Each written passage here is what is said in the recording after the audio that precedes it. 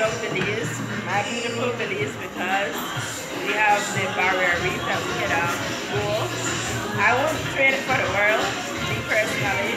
Um, space doesn't entice me, and I would. I like to encourage tourists to get to know Belize and Maya ruins, the barrier reef, like I said, and there's a lot of places that you can visit that is very exciting and just like the States.